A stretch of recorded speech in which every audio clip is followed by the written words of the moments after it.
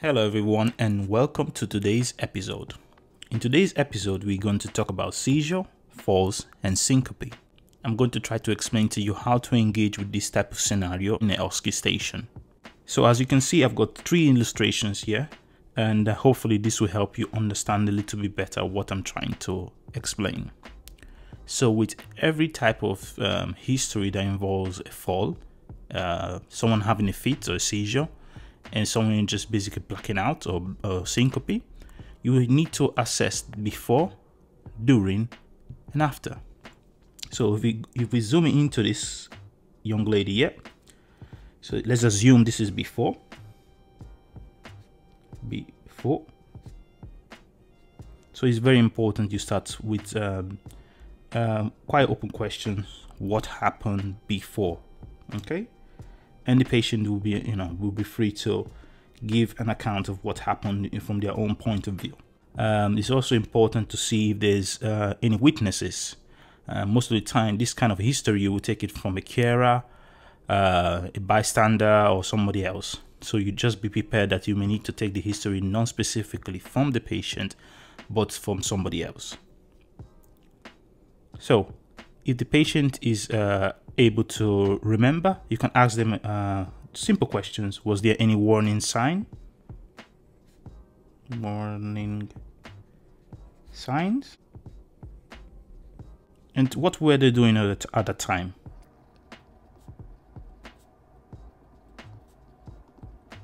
This is quite important if you want to know if they were exercising or if they were just having a nap or just relaxing after you've finished the, the point the beginning or which is what happened before or the attack okay you want to go into what happened during the attack. So let's just go to the second illustration and let's just uh, during. It's very important you know the duration. How long did it did it last for okay this is probably something uh, the patient may not recollect so you need to ask the person oh how long did uh, were they did they black out for? How long did they had the seizure for? And how long after the fall were they unconscious? So quite open questions. Obviously the question is like was there any loss of consciousness? LOC which is loss of consciousness. Now this is very important for your differential to ask um, more specific questions. Were they flop? Were they floppy? Were they jerking? Were they stiff? So let's just let's just uh, put it all down. So you need to ask floppy. Any jerky movement?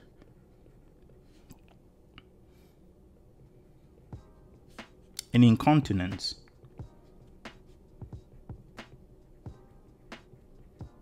Any tongue biting?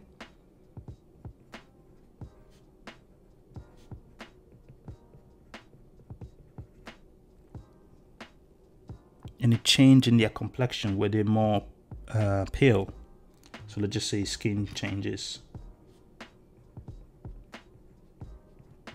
Okay, this is quite important for you to have a broad idea of what may be your differentials and what may be going on. So let's move to after. Does the patient remember what happened?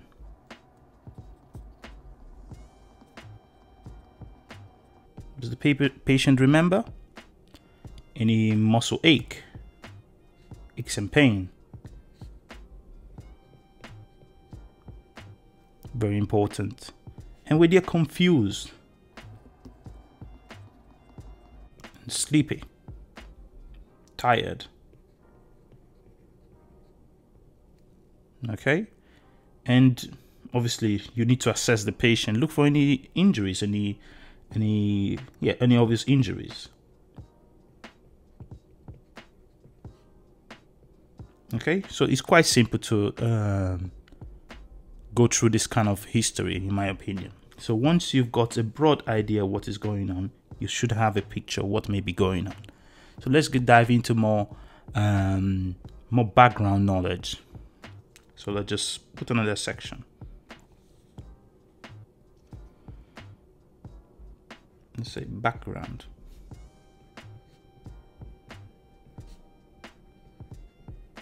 So we can ask them Have this ever happened before? Previous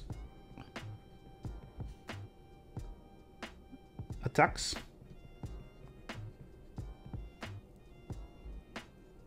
And how often does it happen?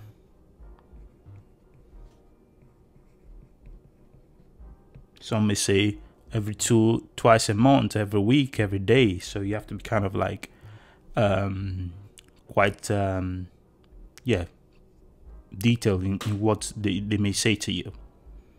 Then after that, you can ask the general questions, you know, um, any chest pain, any palpitation, any shortness of breath, any leg swelling. What you're trying to do is just kind of looking for um, other indication to increase your differentials. Okay, and that's it in regards to the main history for uh, seizures, falls, and blackouts or syncope. Now, let us um, dive into more. Um, what may be the, be, be the cause of what you should be thinking when a patient gives you their history. So let's go back to the illustration of the lady.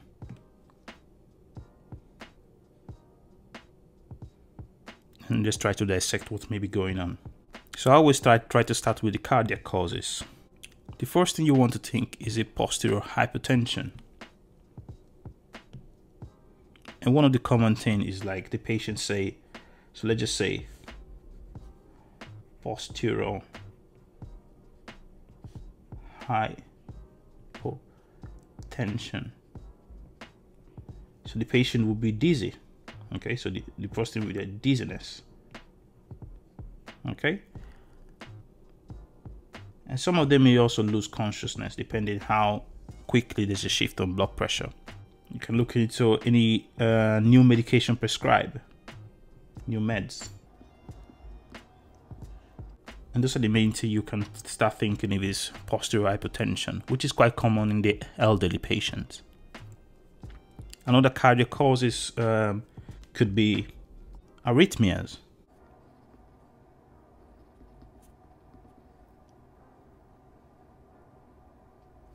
Possibly maybe AF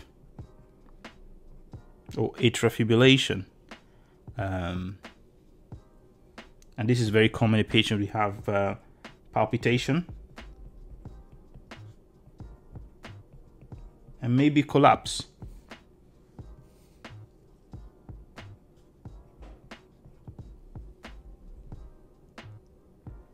So you need to link, look into their uh, cardiac history.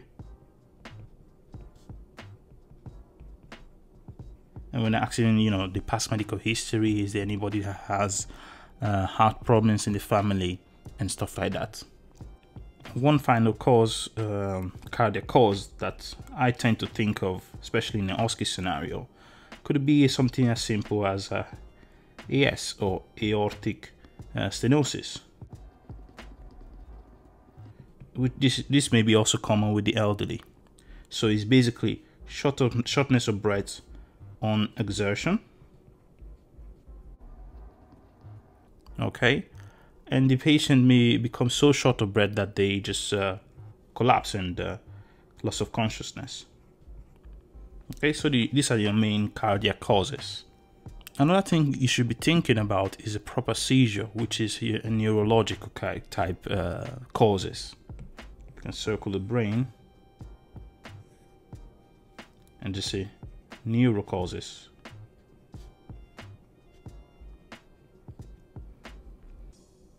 there's no reason for you to do uh, know much detail about the type of uh, seizures, okay?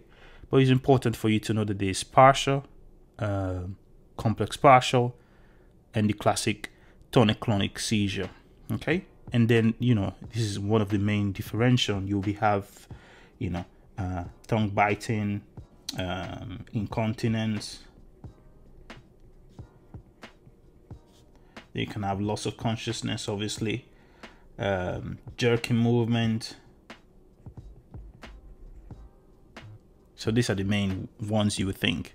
I don't want to go into much detail of the type of seizures. You can look it up yourself if that's what is your main interest. But in an OSCE scenario, that is the main things they want you to know about. Okay, so going back to the falls. So we, that was one of the things we are looking into if a patient a fall, then could be obviously an elderly patient. We may have uh, maybe Parkinson. So let's just say, um, so Parkinson disease. Obviously, the movement is not, you know, poor. They have poor mobility. So yeah, a bit more uh, stiff, and they they may just have uh, instability because of the poor mobility. and that increases the chances of um, basically having a fall. So keep that in mind. Another neurological cause of uh, falls, I would say, more than uh, seizure itself, is um, TIA stroke.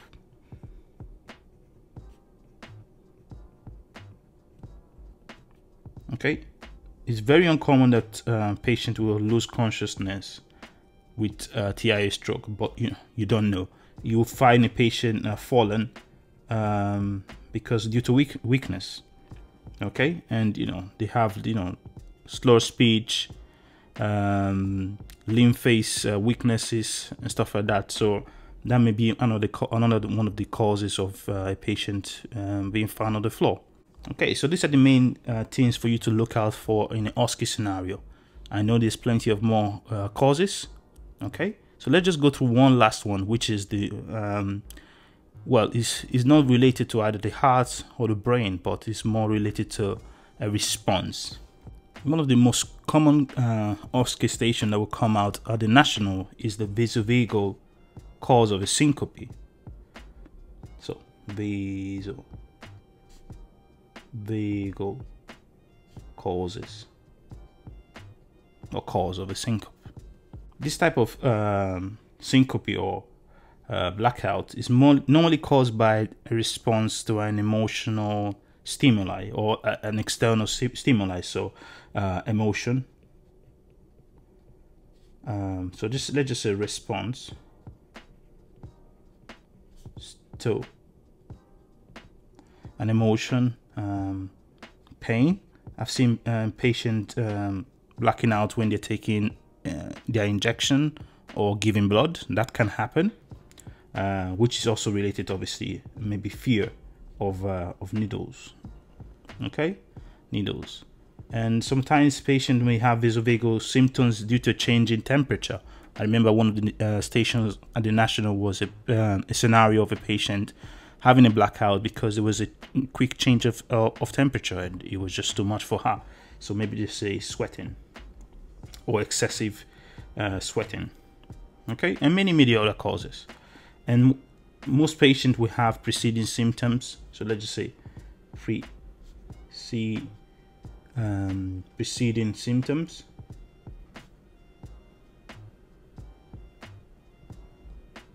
Could be maybe I don't know um, nausea, pallor, changing pallor, just feeling just not themselves. So let's just say nausea.